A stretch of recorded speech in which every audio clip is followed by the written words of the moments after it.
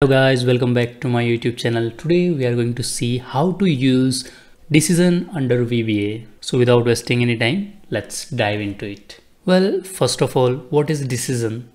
Decision making allows the programmers to control the execution flow of a script or one of its sections. The execution is governed by one or more conditional statements. What is general form of typical decision making in almost every programming? Well, it is like this, where we provide certain conditions.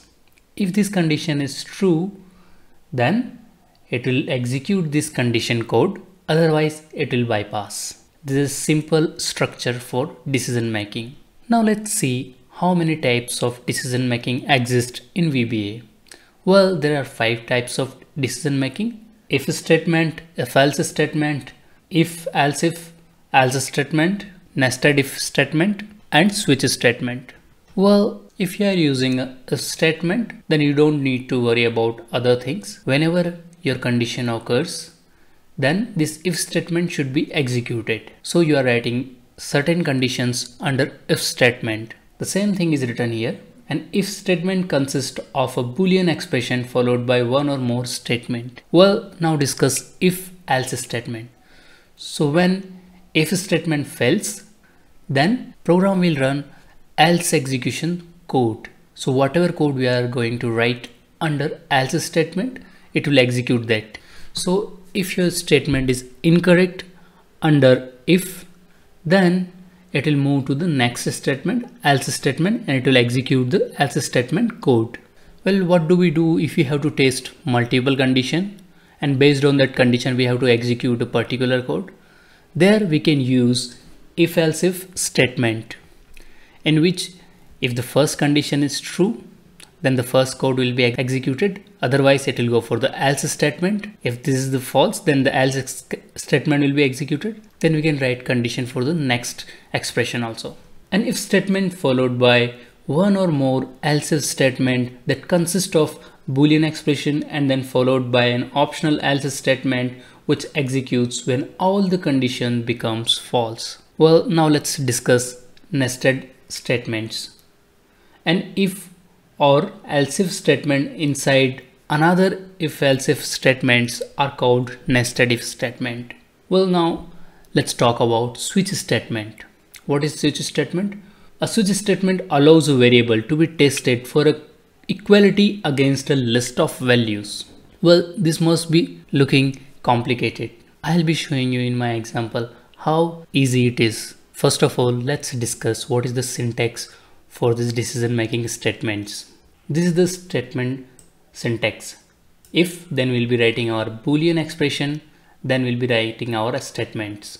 Multiple statements can be written, statement 1, statement 2, statement 3, statement n and we have to end this if statement by and if. Now how the flow diagram will look like? It will look like something like this. If this condition is true, then this code will be executed. Otherwise, it will pass. Now let's see what is the syntax for if else statement.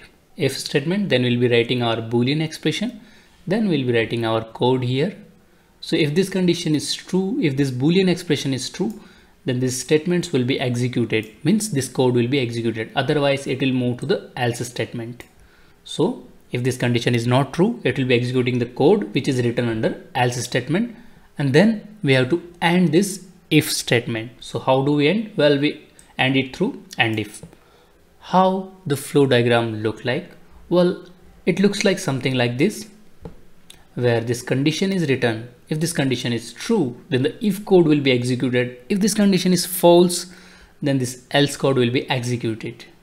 What if we have to test multiple conditions and you wanted to execute different code for different conditions? How do we write then? Well, it is simple. First of all, you have to write if then boolean expression. Then you have to write your code here. Then you have to write your another condition under else if. The condition is boolean expression. Then you have to write your code whichever you wanted to execute whenever this boolean expression is correct or else it will go for the next expression. In the same manner, you have to write the last else statement. Whenever this all condition of else if or if fails, then it will execute the code which is written under else statement. Thereafter you have to end this if else if statement with and if. And how do the flow diagram looks like? This is the flow diagrams. Well, this is the boolean expression 1. If it is true, then the statement 1 will be executed. If, if it is false, then it will go for the next condition and it will check the next condition. If the next condition is true, then the statement 2 will be executed or else it will go for the next condition. If it is true, then the statement will be executed. Otherwise, it will go for the last statement in this flowchart and rest of the code will be executed thereafter. Now let's see nested if statement in VB script. Well, if this boolean expression is true, then the statement 1 will be executed. You can write multiple statement under any boolean expression. If this is executed, then it will go for testing the next if condition under that. Suppose you are testing the value whether it is greater than 100 or less than 100. Well, first you are testing it is greater than 100 once it is tested that it is greater than 100 it is going under the one more if conditions where you are putting like it is greater than 50 or not in the same manner we are writing one more expression under our if statement. So it is nested. If boolean expression this statement will be executed or else else if this statement will be executed. We are testing two conditions under if thereafter we are putting else. And we are again doing this else for the first if. You have to remember this. For this if we have not put any if condition. This if this else if. And this else is one code you can see or one statement. And this if we are ending it with this else. And this whole code we are ending with and if. Don't worry about the complexity. We'll be discussing it on our example and details. Now let's see the syntax of our switch statement.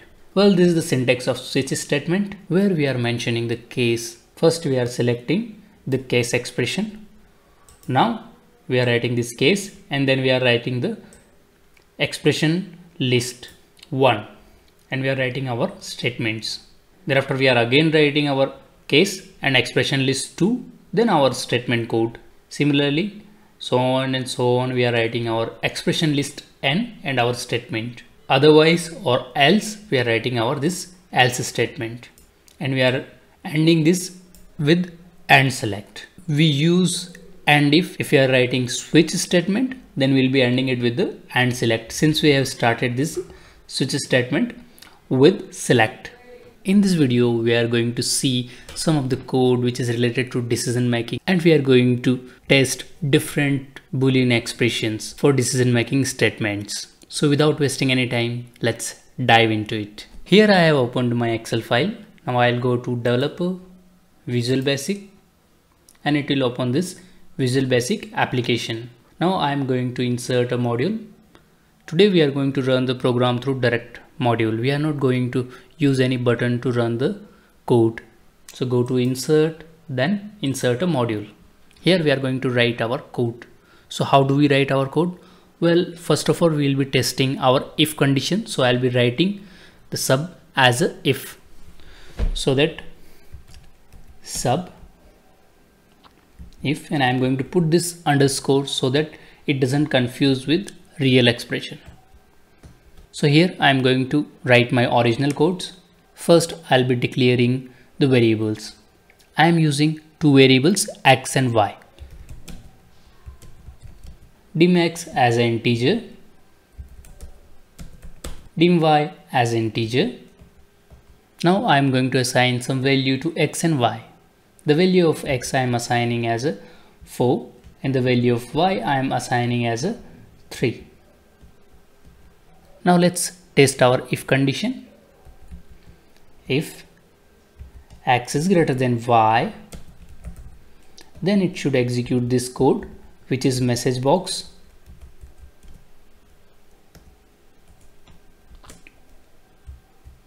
x is greater than y. Now I'm going to end this if statement. How do we end? Well, it is simple and if. That's it guys. Now I'll be running this program and I'll be seeing this output. So how do we run the program? Well, we can directly press F5 button or else we can press this run button. Here I'm going to press the F5 button yeah it is showing x is greater than y well the value of x was 4 and the value of y was 3 so x is definitely greater than y hence it is showing x is greater than y. Now let's change the value of x and y and test our next condition which is if else statement. So here I am changing the value of y as a 33 so this statement is no longer valid. Still we have to end this if statement with and if statement. Now I'm going to write the code. So whenever this condition x greater than y is false it will come to the else statement it will be executing the codes whatever I am writing under this else statement.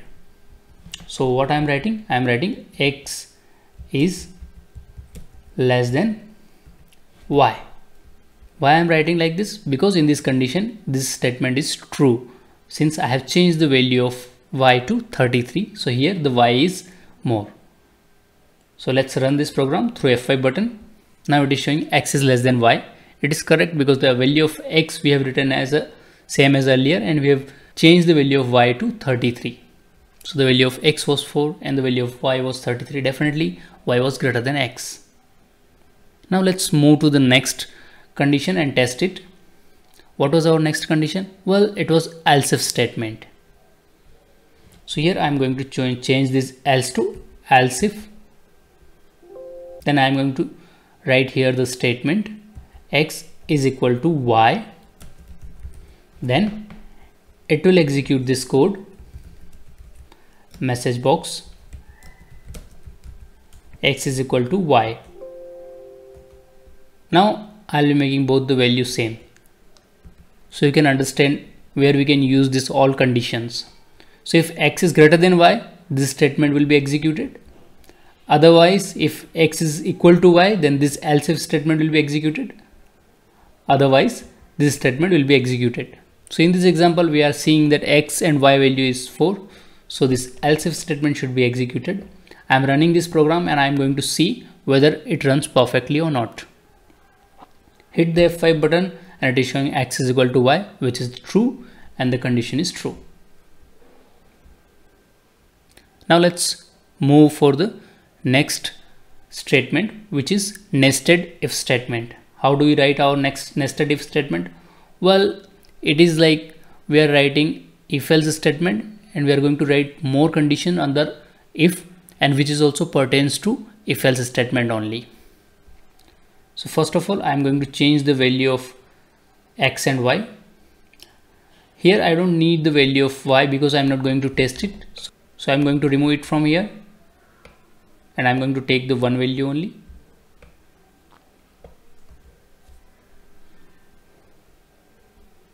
if x is greater than 0 then it will be showing. If x is greater than 0 then it will be testing our next condition which is if x is greater than 5 then it will be showing in the message box. X is greater than 5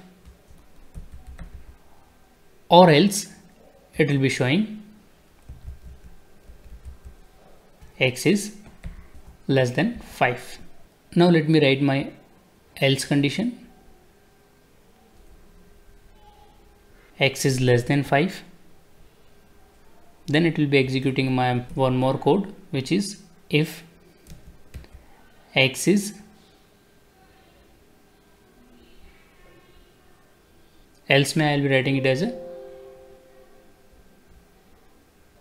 if x is not greater than 0 then x is negative number. So this is nested if statement where we have written one more if else under if statement and we are testing this condition.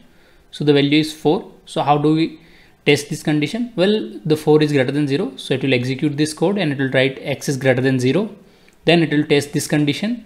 If else is greater than 5 of course not. Then it will move to the next else statement. It will show message box x is less than 5 this statement will not be executed since the number is not negative number and this condition is passing. So this statement will be executed only. Let's run this code. I'm hitting this run button. Yeah it is showing else without if.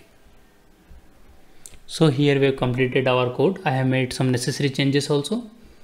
First of all 4 so it will be testing this condition x is greater than 4 then this will be executing this code x is greater than 0 definitely it is greater than 0 because it is 4 now it will be going for the next statement which is x is greater than 5 it since it is not greater than 5 it will move to the next statement.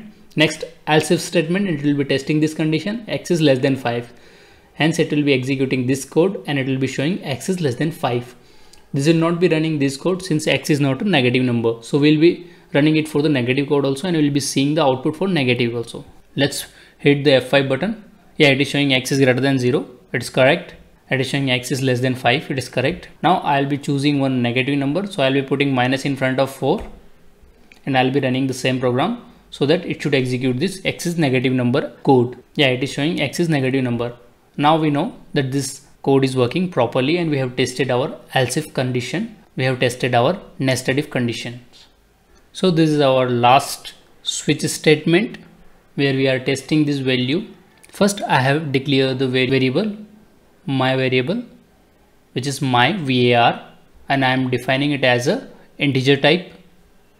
I have assigned the value of my integer as a 1 and I am testing it against several conditions. So first I am starting this statement with select case my variable. So it will be comparing the value of my variable against each cases and it will be executing the code accordingly.